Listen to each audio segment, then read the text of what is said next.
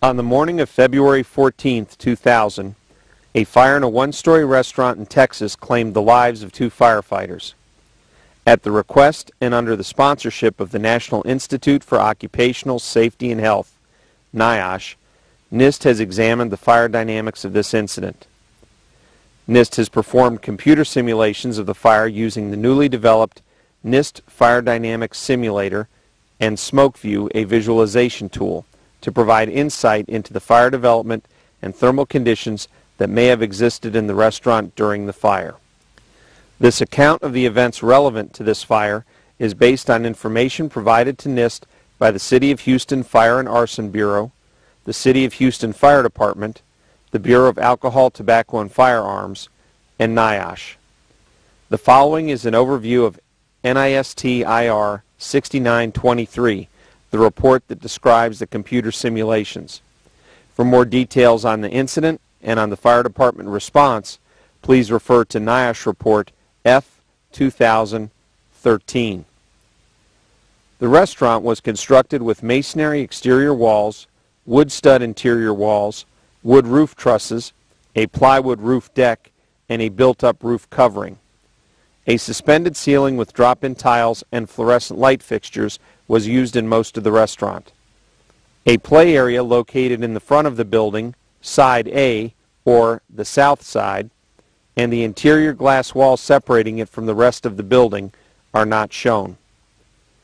The restaurant had an order and dining area with double doors on side D and a single door on side B. Restrooms were located in the rear of the dining area. The dining area was separated from the kitchen by a counter. In the rear of the kitchen was an office, walk-in cooler, break room, and storage room. On the B side of the kitchen were two drive-through windows. Only one of these was open during the early stage of the fire. A single door was located on side C of the restaurant and was not opened until after the roof collapse. In addition to the doors and drive-through windows, the other openings to the outside of the restaurant included four vents through the roof in the kitchen, soffit vents around the building, and windows and walls on sides A, B, and D. The doors and windows shown are those that were opened early in the fire and influenced the outcome.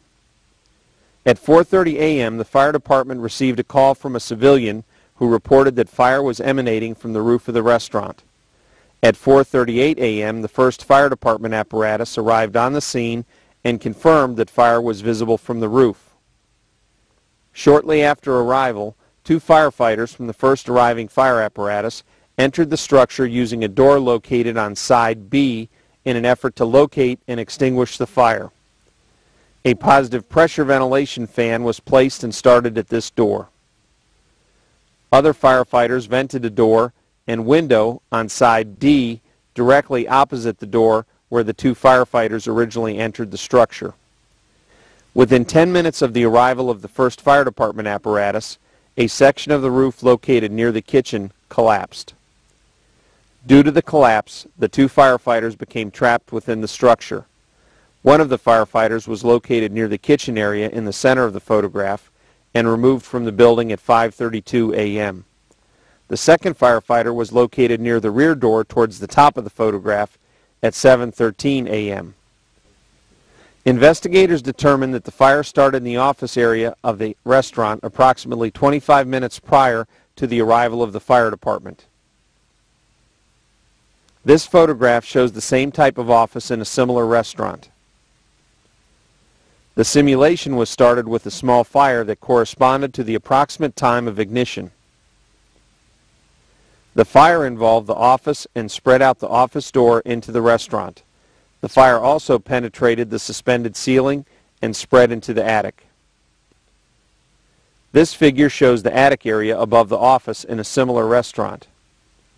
There were several large air conditioning units on the roof near the office. By the time the fire was extinguished, most of the roof had fully collapsed. The air conditioning units can be seen inside the building. A portion of the roof towards the A side of the restaurant did not fully collapse during the fire. This study uses two computer programs developed by NIST. The Fire Dynamics Simulator, or FDS, is a physics-based program that predicts temperatures and fire behavior and has been demonstrated to predict the thermal conditions resulting from a fire. FDS can provide valuable insight into how a fire may have developed. The program SmokeView was developed to display the results of an FDS computation. SmokeView produces animations or snapshots of FDS results.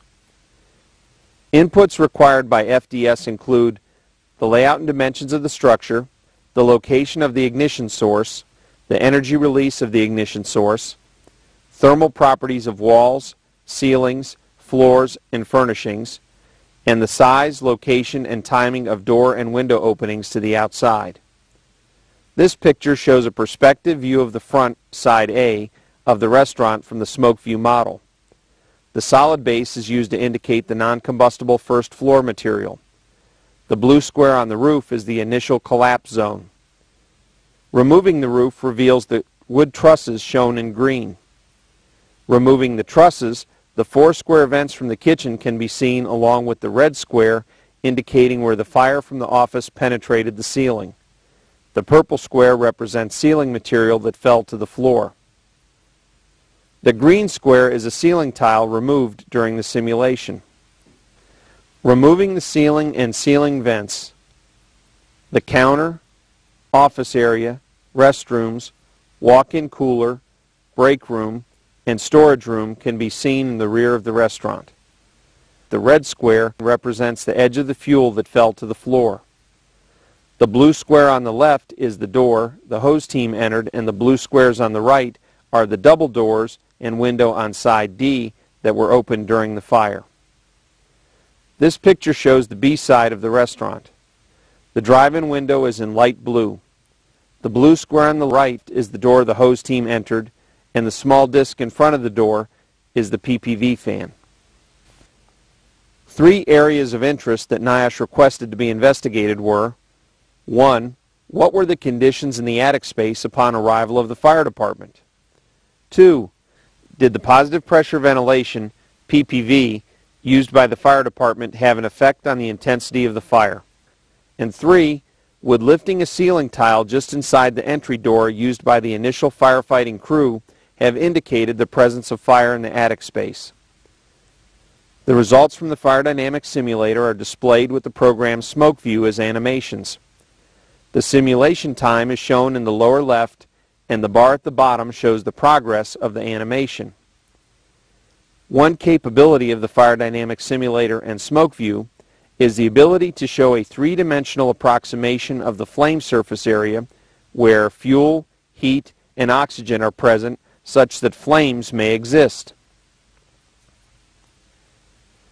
From the inside of the restaurant, the flames can be seen in the office as the fire begins. The flames spread from the office into the restaurant and through the office ceiling into the attic.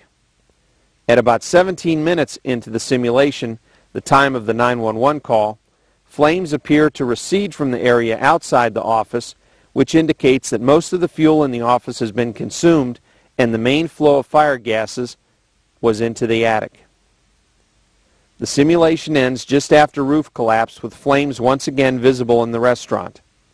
The FDS simulation does not predict the roof collapse so a hole in the roof was created at a time based on information provided by the City of Houston Fire and Arson Bureau, the Houston Fire Department, and NIOSH.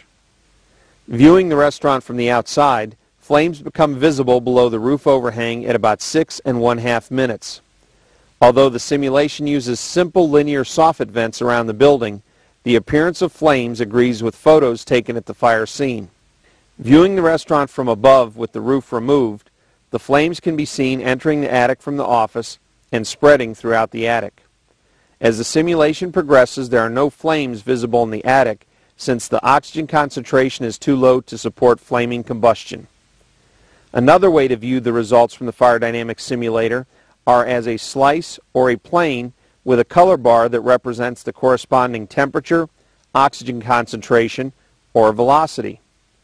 Again, looking at the restaurant from above with the roof removed, the oxygen concentration in the attic starts at approximately 21%. By 20 minutes, the time of fire department dispatch, the oxygen concentration is extremely low throughout the attic. This view shows the attic temperature in degrees Fahrenheit. Once the fire reaches the attic above the office, the temperature rises throughout the attic as the roof trusses become involved. The area of the roof collapse experienced the highest sustained temperatures.